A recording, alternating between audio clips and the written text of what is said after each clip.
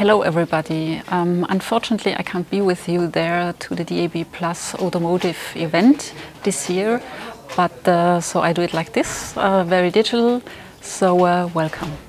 DAB Plus digital radio has developed exceptionally in Germany. All the public services of ARD and Deutschlandfunk radio can be received via DAB throughout most of the country. There is coverage of close to 100% in many of the federal states, in metropolitan areas and on the motorways. The network is rapidly being expanded in other regions. Private radio stations in Germany are likewise increasingly using DAB Plus systematically.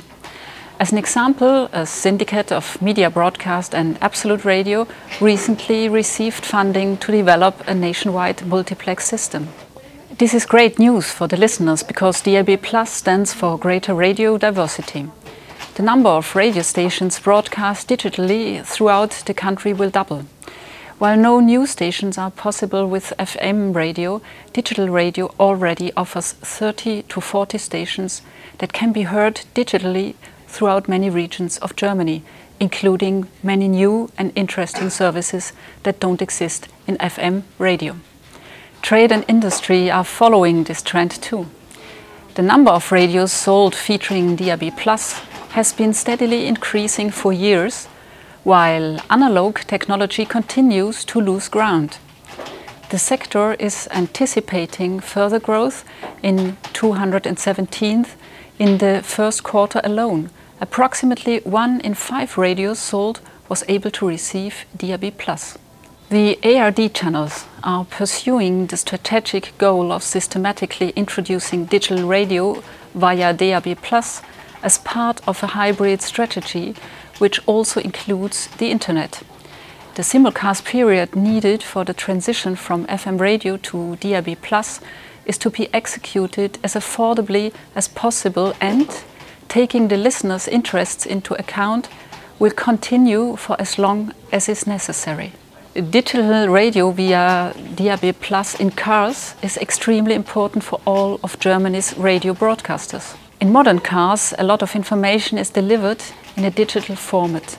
DAB Plus, therefore, fits perfectly into this connected world. Drivers and passengers can not only listen to a great many digital stations, but can also receive information in the form of visuals and text related to the show or tracks they are listening to, and also news, weather forecasts and information about events.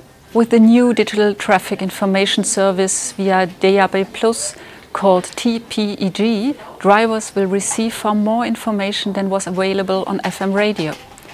This is especially important for information regarding safety. Digital radio can tell the driver exactly where the end of a dreaded motorway traffic jam is located, down to the meter. This function will help save lives. The ARD channels also plan to make TPEG available as a public service which can offer more, such as networked information about local and long distance public transport.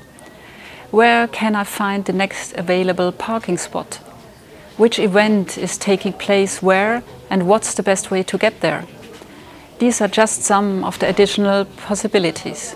Our experts within the ARD are working non-stop to deliver digital traffic information as a public radio service throughout Germany by the time of the IFA 2017. Politicians support the introduction of DAB Plus in cars. They have done so with the draft to amend Germany's Telecommunications Act, stipulating that higher quality audio receivers should only be sold if they are able to receive digital signals. This includes all radio receivers in cars. To sum it up, DAB Plus has a good projected outcome in Germany. In recent months, there has been a number of initiatives launched by radio broadcasters, politicians and appliance industry, all of whom strongly advocate the transition to digital radio. FM radio remains the primary form of radio reception in Germany but its importance is decreasing. The future belongs to digital radio. I wish the WorldDAB Automotive 2017 event in Munich and its distinguished participants the best of success. I hope that with your support, DAB Plus can gain more momentum, in particular in the digital automotive world. Thank you very much.